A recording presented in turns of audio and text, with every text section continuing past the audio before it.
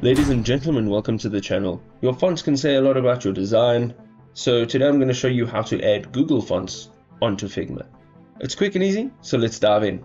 So to get these Google fonts, the first thing we need to do is jump into figma.com forward slash downloads and you need a Windows installer, the font installer. So if you on this page, you'll find it on the right hand side. Now you will go and click on the Windows installer. Of course, if you're using Mac, the Mac installer, and you will find it'll be downloaded to your system. So you're going to click on that, click on install, and within a few seconds it'll say complete and you can close this. Now this is installed onto your system. Let's go over to fonts.google.com and here you can find the font that you would like to use. So let's use this one here. You're going to click on this. It's going to open the font. So on the top right hand side you can just click on get font and if it has more than one font within the family you can just click on download all, it will now download all of the fonts in the family. So once it's downloaded, you want to just go ahead and click on it and we are going to extract it.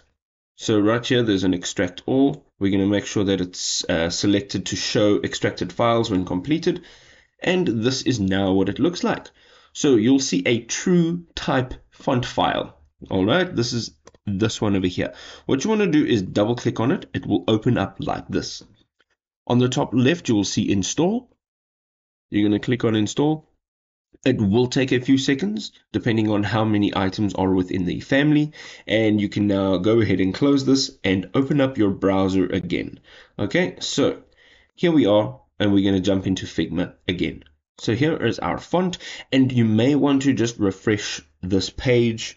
If you're using the desktop app, you are going to close Figma and you're going to open it up again. So you'll need a restart for the changes to take effect and for the fonts to be available. So let's click over here.